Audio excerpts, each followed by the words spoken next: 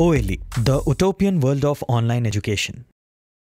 Hello students, welcome to OLE. This is your chemistry class and we are studying the chapter fiber to fabric. In the previous session, we have discussed about the fibers, the types of fibers, natural fiber, types of natural fiber and mainly we have discussed about wool and we have also learnt that wool majorly comes from sheep but there are also other animals as well that can yield wool. So in this session, we will discuss that what are the processes for obtaining wool from the sheep, right?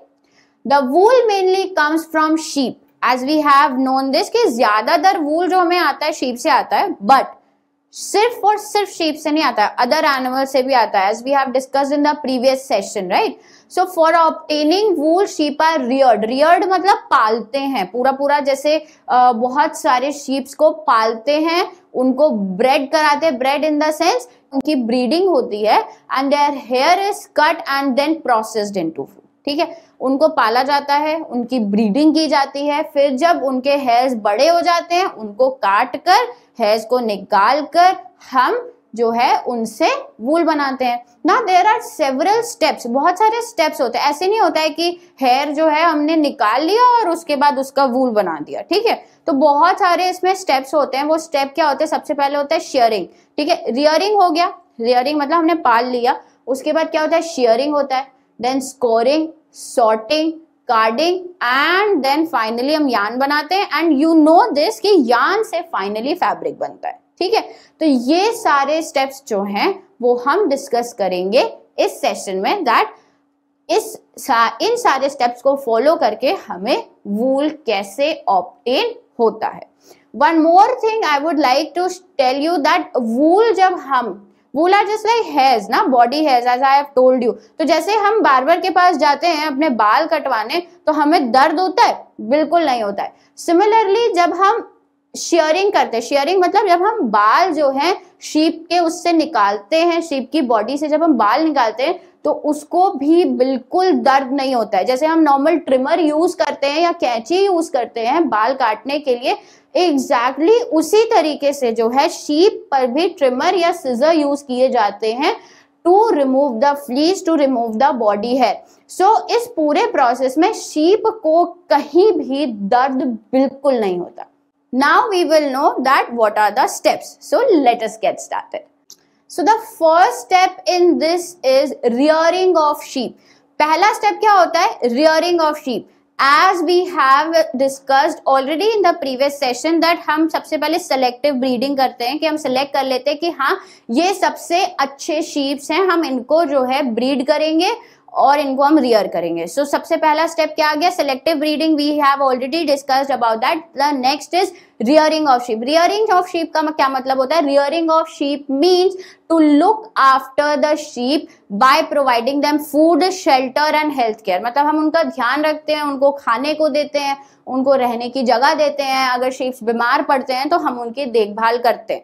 तो in short जब हम किसी भी जानवर को पालते हैं for the commercial purpose commercial मतलब कि हम इनसे कुछ फ़ायदा, कुछ प्रॉफिट निकालना चाह रहे हैं तो उस प्रोसेस को हम रियरिंग कहते हैं। ठीक है?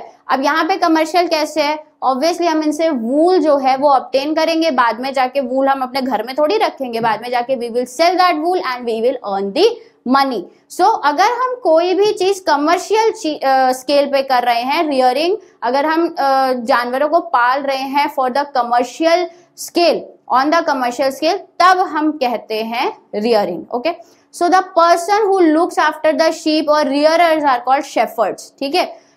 शेफर्ड्स किन पर्सन को कहते हैं? जो शीप की देखभाल करता है, जो रियरर होता है शीप का, जो शीप को पालता है, उसकी देखभाल करता है, उनको हम क्या कहते हैं? ऐसे इंसान को, ऐसे इंसान को हम कहते हैं shepherds right next is sheep are herbivores and prefer grass आपको ये पता है that sheep are herbivores now what are herbivores herbivores are those animals which only eat plant and plant products मतलब वो नॉन वेज नहीं खाते हैं purely vegetarian होते हैं so these are known as herbivores so they prefer to eat grass and leaves तो जो sheep होते हैं, वो हमेशा ग्रास और लीव्स ही खाते हैं। तो जनरली जो शेफर्ड होता है, वो पूरे पूरे हर्ड्स को हर्ड्स मतलब ग्रुप ऑफ़ शीप जो होता है, उनको ग्रेजिंग के लिए फ़ील्ड में लेकर जाता है।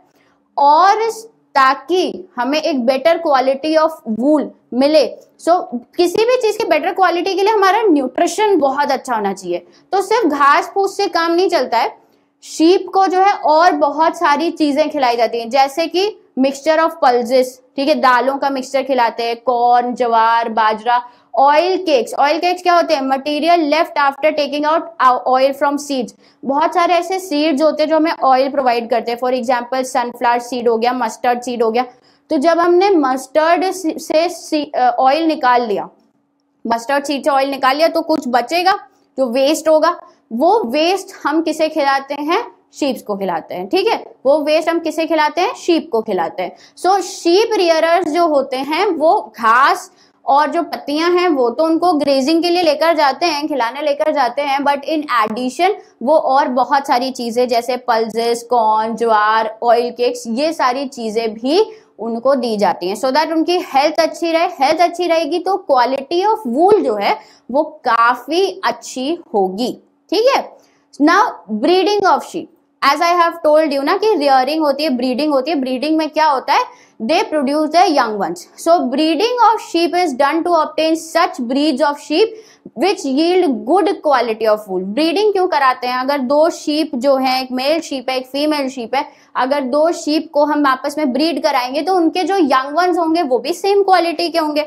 अगर दो शीप अच्छी वूल यील्ड कर रहे हैं तो उनके यंग वंस भी अच्छी वूल यील्ड करेंगे। सो so, इसीलिए एक अच्छी वूल को ऑप्टेन करने के लिए हम दो अच्छी ब्रीड के शीप्स को जो है उनकी ब्रीडिंग कराते हैं। These breeds of sheep have thick coat of hair on their body and are called good breeds of sheep ठीक है? इन अब हम कैसे डिसाइड करते हैं कि ये गुड ब्रीड है ये बैड ब्रीड है? तो गुड ब्रीड कब होगी? जब खूब थिक हेयर होगा सॉफ्ट हेयर होगा। सॉफ्ट भी हो, क्यों? ताकि जितनी ज़्यादा सॉफ्ट वूल होगी, उतनी ज़्यादा हाई क्वालिटी मानी जाती है। और जितनी थिक होगी तो क्वांटिटी भी बढ़ेगी। तो अगर हम एक गुड ब्रीड की शीप जो है सिलेक्ट करते हैं फॉर रियरिंग तो उससे क्या होता है? हमारी क्वांटिटी ऑफ़ वूल भी बढ़ती है और क्वालिटी ऑफ़ वूल भी बढ़ती है। देखिए लास्ट लाइन में क्या लिखा है? This raises the quality and quantity of wool right तो ब्रीडिंग ऑफ़ शीप इसलिए की जाती है। Next is once the reared sheep have developed a thick coat of hair कुछ टाइम बाद क्या होगा? उसके शरीर पर खूब बाल आ जाएँगे। The sheep will develop a thick coat coat of hair so that time the hair is shaved off ठीक है? जैसे शेविंग नॉर्मल शेविंग होती है एग्जैक्टली exactly उसी तरीके से उनके हेयर्स भी हम उनकी बॉडी से निकाल देते हैं।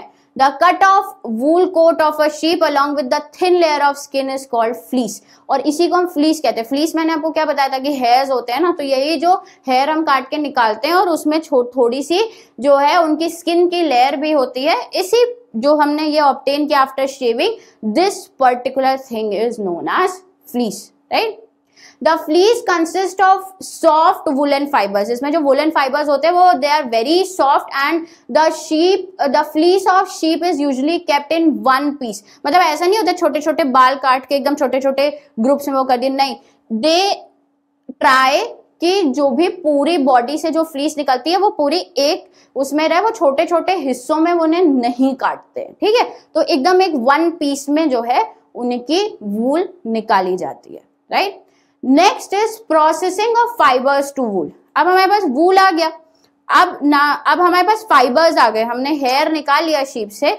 Now we have to make it wool ठीक है? पूरा हमें फैब्रिक बनाना है तो उसमें भी अभी बहुत सारे प्रोसेसेस हैं। So step one is shearing जो हम शेविंग करते हैं ना, जो हम यहाँ से शीप की बॉडी से जो हम वूल निकाल रहे हैं स्किन निकाल रहे हैं this whole process is known as shearing. See what is written here? The fleece of the sheep along with thin layer of skin is removed from the body and this process is known as shearing. ठीक है इस process को हम क्या कहते हैं shearing next is step two once we have obtained the wool in one piece तो वो वूल जो है that is very dirty like बहुत सारे डर्ट और सॉइल और सब कुछ उसमें लगा होगा, क्योंकि शीप्स हैं, वो हर जगह जो है घूमेंगे, कहीं पे खेलते हैं तो बहुत सारा डर्ट होता है। तो ऐसे ही हम जाके उसके वूल नहीं बना देते we have to wash them we we wash them with soaps detergents and water